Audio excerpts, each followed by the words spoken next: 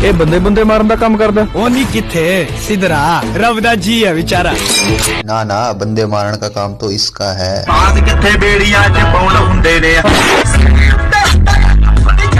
तुम कानून तोड़ रहे हो ਪੁਰਾਣੀ ਆਦਤ ਹੈ ਯਾਰ ਔਰਤ ਉਹ ਤਾਂ ਬਚਪਨ ਸੇ ਕਰਨਾ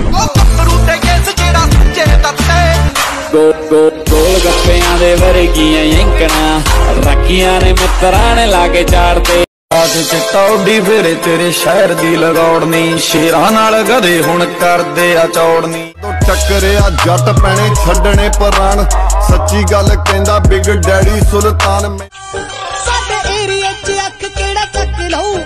ਐਨਾ ਹੈ ਨੀ ਗਾ ਕਿਸੇ ਦੇ ਵਿੱਚ ਜਿਹੜਾ ਬੌਲਦ ਕਬੂਤਰ ਨੇ ਕਈ ਜੋੜੀਆਂ 65 65 ਇੰਚ ਰੱਖੀਆਂ ਨੇ ਘੋੜੀਆਂ। ਕੁੱਤੇ ਕਾ ਸਿੰਘਾ ਬੋਲਦਾ ਵੀਰੇ। ਹੌਲੀ ਟੇਲੇ ਬੋਆਈ ਵਾਂਗੀ ਨਾਮ ਚੱਲਦਾ। ਰਸ਼ੀਆ ਜਪਾਨ ਸਾਥੋਂ ਡਰੇ ਬਹੁਤ ਬੱਲੀਏ ਜਾਨ ਨਾ ਲਵੀ ਤੂੰ ਸਾਨੂੰ ਕੱਲੇ ਸੁਣੀਏ। ਹੌਦਿਆਂ ਦਾ ਬੜਾ ਹੈਗਾ ਮਾਨ ਜਿੰਨਾਂ ਨੂੰ। ਮੈਂ ਇਹ ਆ ਮੈਂ ਉਹ ਆ ਮੈਂ ਜੇ ਆ ਮੈਂ ਬੋ ਆ। ਪਤਾ ਹਿੱਟਰਾਂ ਨੂੰ ਕਿ ਮੈਂ ਸਾਰਿਆਂ ਦਾ ਪਿਓ ਆ। ਮਿਹਨਤਾਂ ਨਾ ਬਣਾ ਵਿੱਚ ਤੂੰ ਇਹਦੇ ਮੈਂ ਬੱਦਲ ਬਣਾਵਾਂ। ਤੂੰ ਦੇਖੀ ਵੀ ਨਹੀਂ ਹੋਣੀ ਜੜੀ ਬੂਟੀ ਜਿਹੜੀ ਲਾਵਾਂ।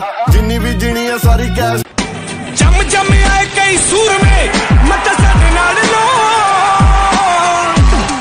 ਲਾਂਡੀ ਓਏ ਸਨੈਪਚੈਟ ਬਣਾ ਤੇਰੀ ਭਾਬੀ ਨੂੰ ਭੇਜੀਏ। ਤੇਰੇ ਲਈ ਮੈਂ ਤੋੜ ਕੇ ਹੀ ਮੁੜਾ ਚੱਲੀਏ। ਜੇ ਬੋਲਣ ਦਾ ਜੇ ਸ਼ੌਂਕ ਨਹੀਂ ਜੱਟ ਨੂੰ ਸੋਚੀ ਨਾ ਤੂੰ ਕਹਿ ਗਿਆ।